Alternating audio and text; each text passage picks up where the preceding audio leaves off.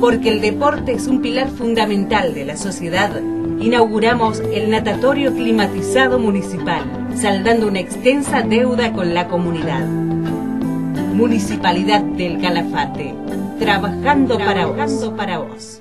Vamos a cerrar el bloque deportivo como siempre desde el galpón de Don Emilio en su nueva sucursal Avenida del Libertador 1018 donde también encontrás ropa informal para hombre con las marcas Route 66 y Mistral por supuesto todo aquí en Avenida del Libertador 1018 la nueva casa eh, que tiene el galpón de Don Emilio además de la sucursal que eh, se encuentra en la calle 9 de julio. Vamos a ir a ver la Liga de Turismo de Fútbol cuarta fecha se disputó en el gimnasio Palos Gruesos como cada viernes, sábado y domingo muy convocante por cierto con batacazos, con dos punteros, con cuatro equipos invictos y con dos que aún no han podido sumar puntos. Vemos todos los goles en este informe, los 10 partidos que se jugaron el fin de semana.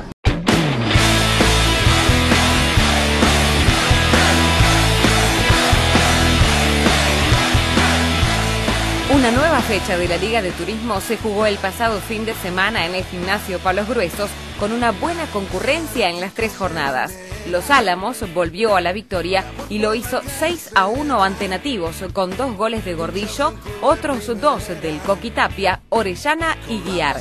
Los hoteleros tienen nueve puntos, mientras que Nativos pudo descontar a través del Pájaro Bayone. No importa el lugar, no importa el rival. Ospi igualó 2 a 2 con remiseros en un partido con muchas caras nuevas.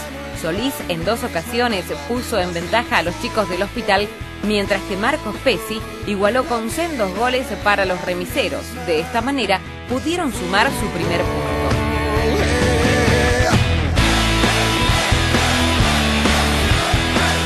Los guías Continúan líderes, pero debieron transpirar más de la cuenta. Aerolíneas hizo un gran partido, pero González anotó en contra de su valla y fue el único festejo del encuentro.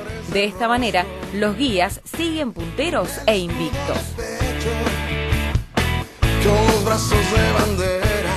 Ya en el super sábado y con muchísima gente en las gradas del gimnasio Palos Gruesos, Costenayque volvió a ganar un partido muy difícil ante Parques Nacionales fue 4 a 3 en un vibrante encuentro con dos goles de César Cáceres, uno de Malacurra y otro de Jonathan Rasualdo.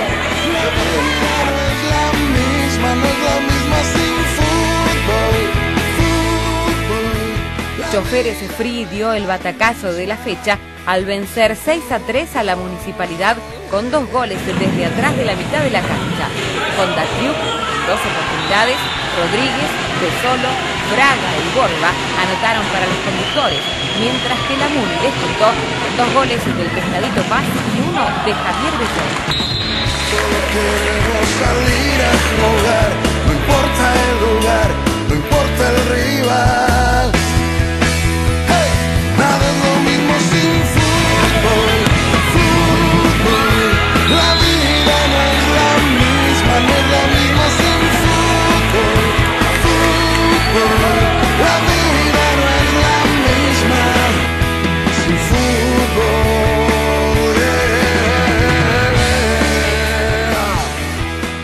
Cóndor sigue siendo uno de los invictos y escoltas, pero debió remar mucho para conseguir la victoria ante Alto Calafate.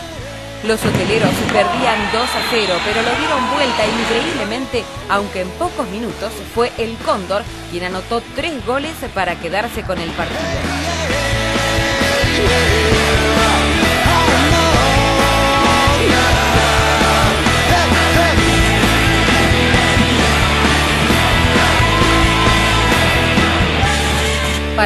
El sábado, London ganó un partido por la excelente actuación de su arquero Emilio Navarro, que atajó más de 15 situaciones claras de gol. Imagen Patagonia no pudo con el 1 de London y después lo pagó caro porque anotaron Julio Cruz, Mauri López, Lucas Mossi y Juan Mitrán. Descontó Luciano Mauro en dos ocasiones.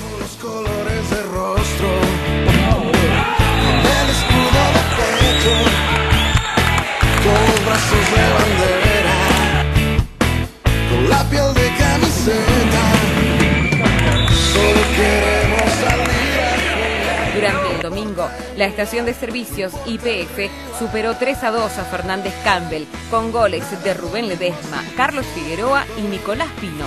Para la empresa lacustre anotaron Marcos Manríquez y Matías Lago.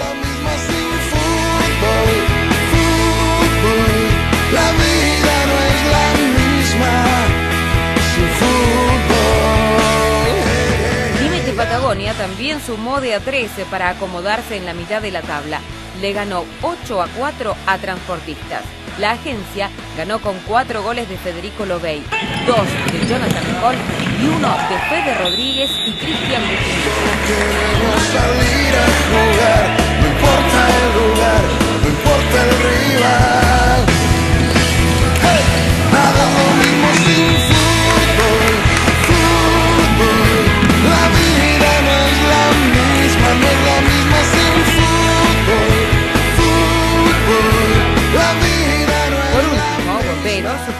Conseguir su primera victoria del certamen y lo hizo por 3 a 1 ante Tolqueyen.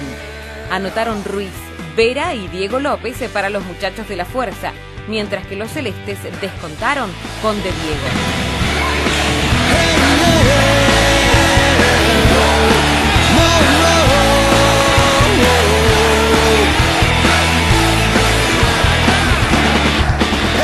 La tabla de posiciones tiene dos líderes con puntaje ideal y continúan con dos escoltas que también están invictos.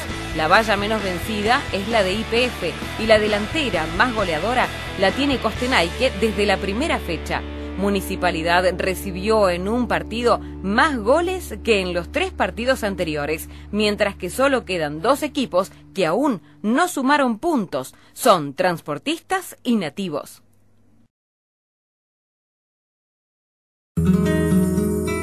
LU23 AM 730. Siempre más.